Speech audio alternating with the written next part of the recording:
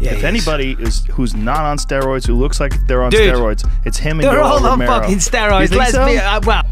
Everybody's on steroids. It's not that easy these days with It's USADA, hard. but come on. Okay. You're telling me that you don't believe that Yoel Romero ever took a steroid in his life?